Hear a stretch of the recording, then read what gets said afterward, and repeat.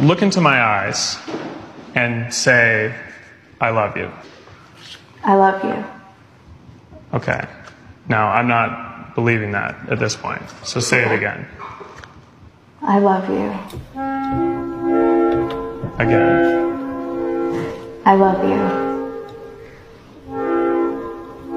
Again.